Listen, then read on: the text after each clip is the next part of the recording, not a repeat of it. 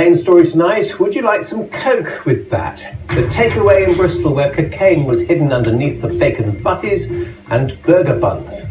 What? What? Nah, I never knew that. I never knew that.